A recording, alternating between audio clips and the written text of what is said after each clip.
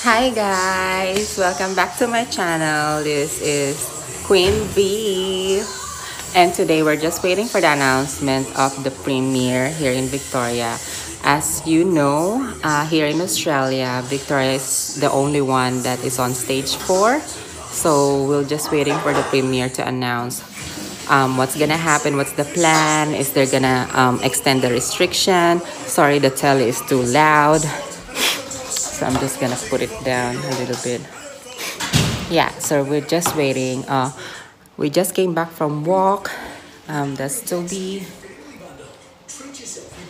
so yeah um we're just waiting for the announcement um today. So hopefully restrictions will be lifted as all everyone wants to be.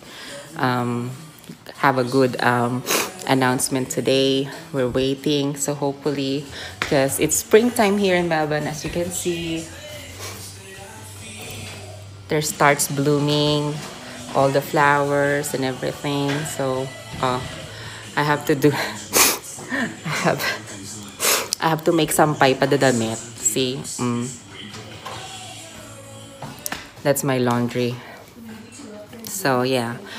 So we're just waiting for the announcement. So hopefully they'll do it um, before midday. Okay, ciao. This job, uh, the great honour that I have to lead our state, every day is filled with decisions that are really, really difficult. Some of them are difficult because they're a genuine 50-50 choice. You're not quite certain which option to choose. Others are difficult because you know what the consequences of those decisions will be. Some of them are indeed heartbreaking. This is not a 50-50 choice. The modelling that Alan will speak to in a moment indicates that if we open up too fast, then we have a very high likelihood, a very high likelihood that we're not really opening up at all. We're just beginning a third wave. And we will be back in and out of restrictions, in and out of lockdown before the end of the year. Indeed, potentially well before the end of the year. We can't run out of lockdown. We have to take steady and safe steps out of, long, out of lockdown to find that COVID normal. We must take steady and safe steps to find COVID normal and make sure that in opening up, we can stay open. Not a situation where we are unable to begin the task of economic repair unable to begin the enormous from 11.59pm on the 13th of September uh, we will uh, have to extend we'll have to extend out for two weeks uh, the current stage four uh, current stage four restrictions that Victorians are living under. This is for Metro Melbourne. I'll do regional Victoria in just one moment. So we have to extend, we cannot open up at this time. If we were, then we would lose control very, very quickly. And again, Alan will speak to that in more detail. So However, there are some changes to that two-week extension of stage four. Let me run through those now. So from uh, next Sunday, the curfew will be eased and it will be expanded to 9pm, not 8pm, in recognition that the days are getting longer. That is a small step, but one that we can safely take. Exercising will be increased to two hours per day, up from the one hour per day. Uh, social bubbles to uh, accommodate those who live on their own in direct response to feedback we've had from those who have been isolated away from anyone else for a long period of time. We will create those social bubbles so that much like the way intimate partner arrangements work now, uh, singles, those who live alone, will be able to partner up with somebody else and they'll be able to visit each other. The five kilometre rule will not apply, but the curfew will. Uh, so it is essentially extending those arrangements for partners who don't live in the same household to those who live, uh, live uh, on their own. Public outdoor gatherings of two people will be allowed uh, or a household for up to two hours, not the uh, one hour of exercise. So it's exercise and or spending time outside, whether it be visiting the park, so on and so forth. And playgrounds will reopen. That is for the two week period uh, until the 28th of September. That's the first step. The second step from the 28th of September subject to public health advice and subject to the average daily cases being between 30 and 50, at that point, uh, 14 days before. Public gatherings increased to up to five people from two households. Schools, uh, there will be a staged return of school for prep, grade 1, grade 2, VCE and VCAL, as well as specialist schools for term 4. Uh, some senior students, senior students will be back from the 5th of October for their uh, GAT test, uh, but from the 12th, the following week, uh, we will have prep grade 1, grade 2, year 11 and 12 and year 10s for the purposes of their VCAL or VCE studies back as well as specialist schools. Childcare reopens, uh, more workplaces open.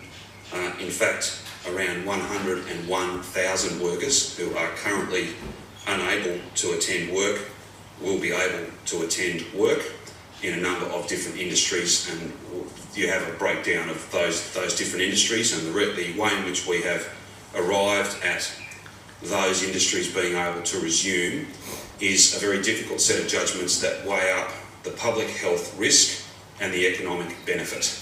Uh, we believe we've struck a balance. It is not a perfect balance, there is no such thing. Uh, and I know there'll be some industries who are disappointed that they're not on that list, but whenever you draw a line, there will always be different groups on either side of it. We can't, again, as I've said a number of times, and will continue to say uh, for weeks and months to come, this has got to be done in a safe and steady way, and that is a significant number of people who are not at work now, they're not permitted to be at work.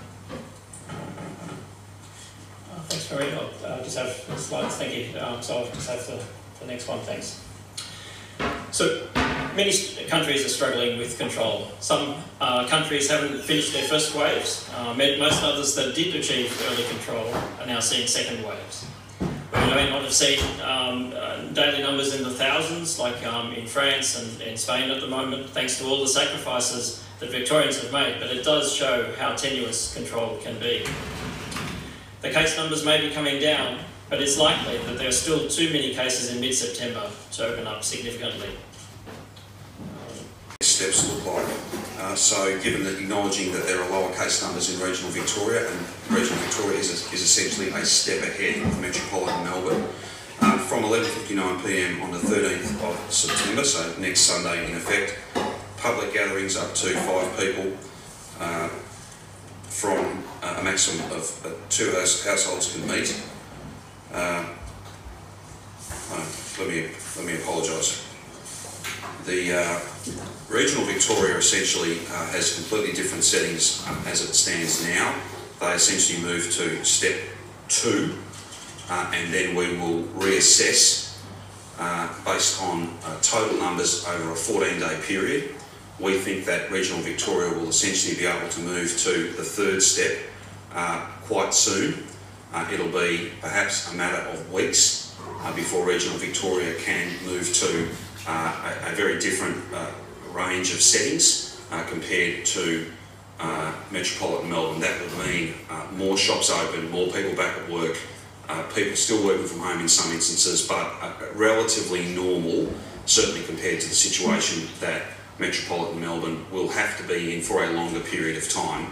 Uh, let me find the exact note and I'll go through any further details if you've got questions, but all that information is available. Essentially, uh, we will be able to move uh, a step ahead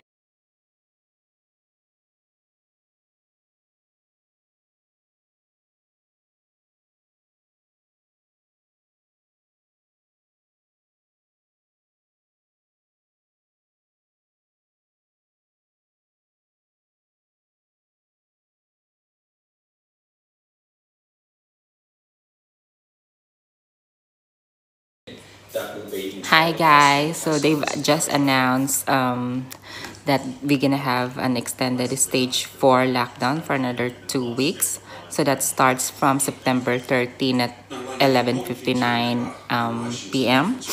till 28th of September. Then from 28th of September, um, um, they're gonna have another um, lifted for the restriction. So hopefully the numbers will go down the infection will go down.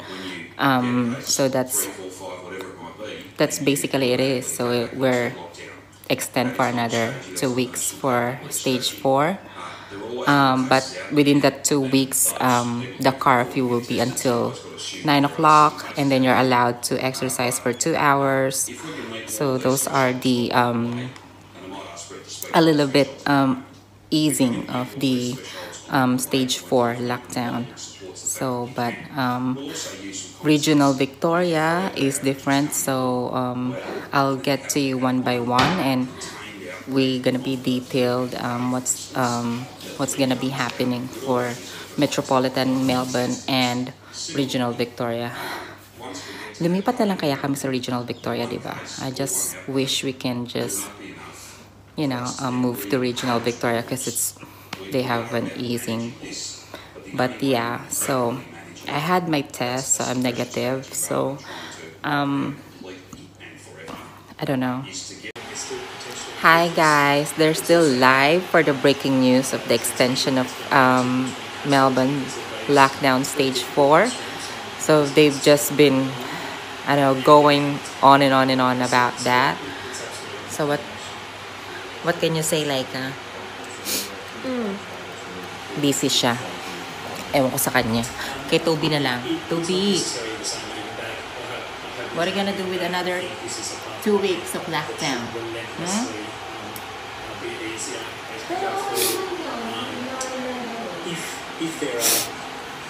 So, um, I think it's been sa'yo. Mm-mm, yung ganun. Kasi nga hindi naman pwedeng i i-lift agad yung yung restrictions, yung lockdown. Kasi nga, may mga cases pa rin. Malaki pa rin yung, yung mataas pa rin yung case natin. Kung makapagsalita naman siya, kala mo expert siya. Charot. Anyway, yeah, so um, it extended for another two weeks. And actually, all the chief health officer, um, the premier, they're just asking questions from the um, from the media and everything. So, yeah. What can you do? You just have to follow, or else you're gonna be fine. Mahal pa naman yung fine. Buti sana kung you're just fine. Charot. Okay, guys, so that's the update for Melbourne. Unfortunately, oh my god, that's the mga birds outside. Unfortunately, we're um we're extended for another two weeks of stage four, but the curfew is lifted from from eight o'clock to nine o'clock, and the exercise from one hour ex- ex- extended for another hour, so you can exercise for two hours now from September 30, uh, 14 to 28. Okay? It's beautiful day. It's springtime here in Melbourne. Pasensya na maraming labahin. but um, it's beautiful day. It's um, spring. So, yeah, I just can't wait for this virus to go away. But yeah, we'll just have to live with it. So, that's all, guys. Thank you. And stay tuned for more videos. Bye-bye.